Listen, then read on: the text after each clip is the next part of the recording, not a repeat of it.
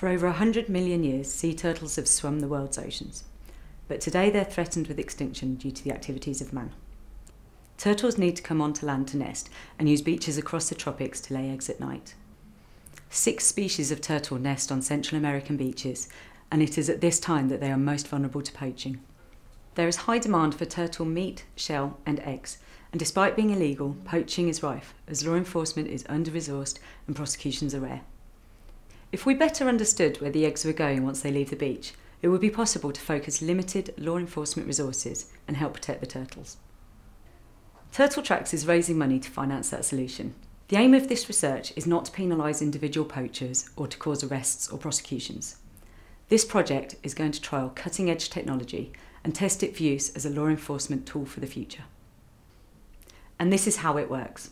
This summer, we will be deploying decoy turtle eggs created by the non-governmental organisation Paso Pacifico. They designed and created 3D printed turtle eggs that contain a GPS tracking device, SIM card and a battery pack. These eggs are identical in shape, size and texture to green turtle eggs and use exactly the same technology as the GPS tracker in your mobile phone. We plan to deploy 100 turtle eggs in nests vulnerable to poaching at two secret locations. Once the nest is poached, it will be possible to track the route that they take off the beach. We will then be able to map the poachers' movements and better understand trafficking routes and patterns. If this trial is successful, this method could go on to be used throughout the region and prove to be a game changer in future law enforcement. But this is where we need your help. In order to have a big enough sample size, we need to deploy 50 eggs at each site. Each egg will cost roughly the equivalent of £35, so we're looking to raise £3,500. It's no mean feat, but I'm confident that there are enough people backing Turtle Tracks to make it possible. Please help this campaign by making a donation today. My name is Helen Pheasey. For the last few years, I've been working in Central America with sea turtles.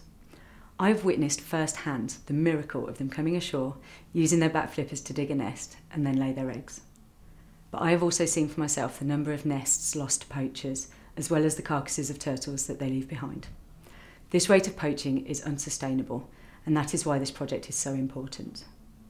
The world needs turtles in it, not just for their intrinsic value, but also for the roles that they play in the marine ecosystem. Please support this campaign by making a donation and help me to help the turtles.